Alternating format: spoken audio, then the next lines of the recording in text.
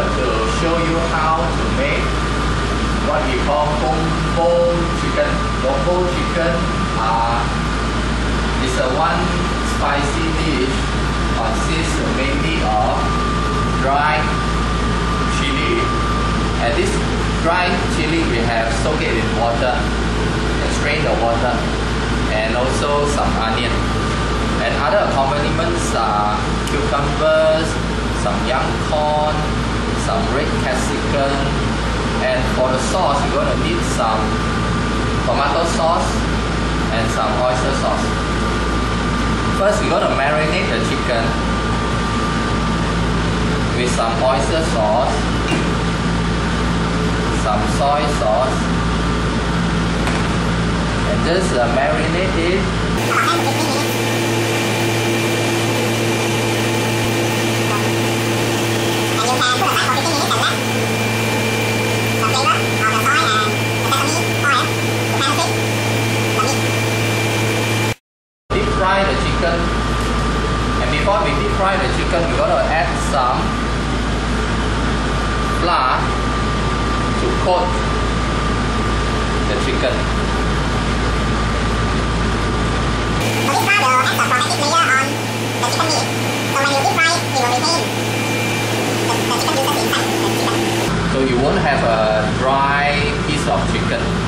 this method okay bye. Deep fry your chicken for 5 minutes in a medium heat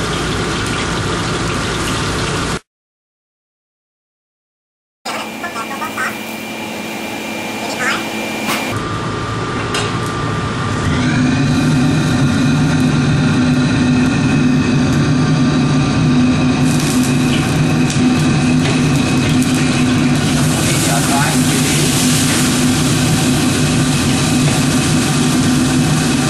little bit of garlic.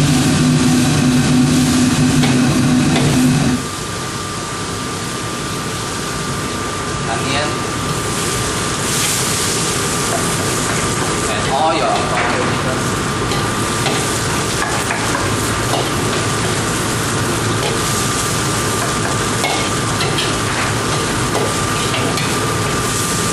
Give it a good stir fry.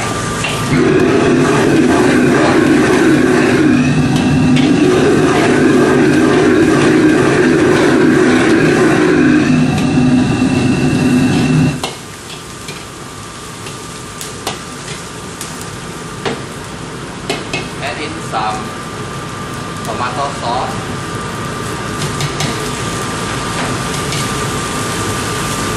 And add in some chicken stock. If you don't have a chicken stock you use normal water will do.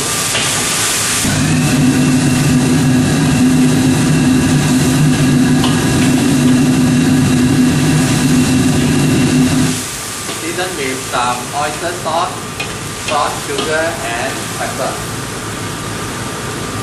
oyster sauce,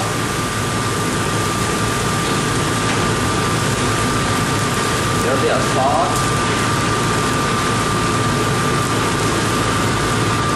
lots of sugar,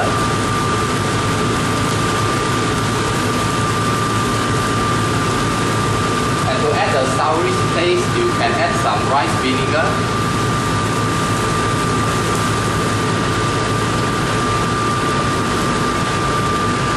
Some white pepper.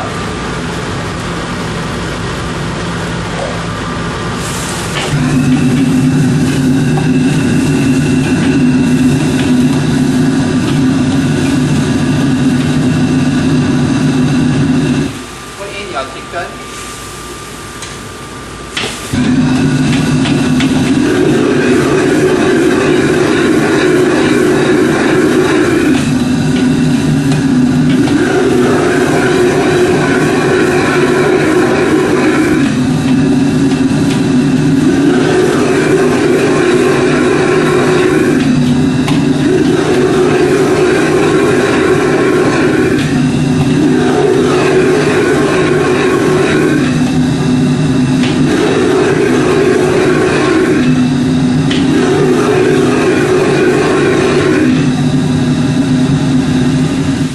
and cook until the sauce becomes thick.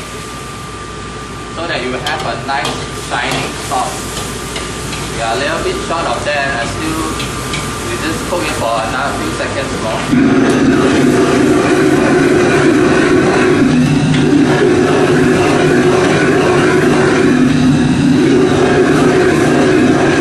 And that's it. You have your full chicken.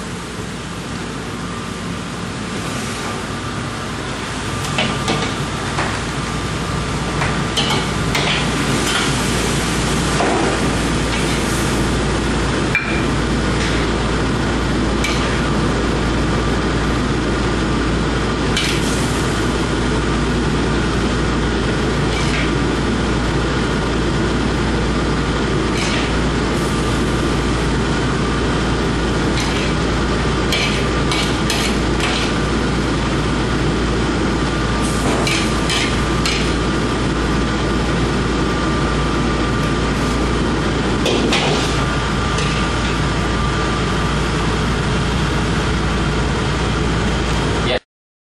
Okay. You can garnish your Gong Bo chicken with some cashew nuts. You can buy ready-made cashew nuts and sprinkle it on top. And then you have it, your Gong Bo chicken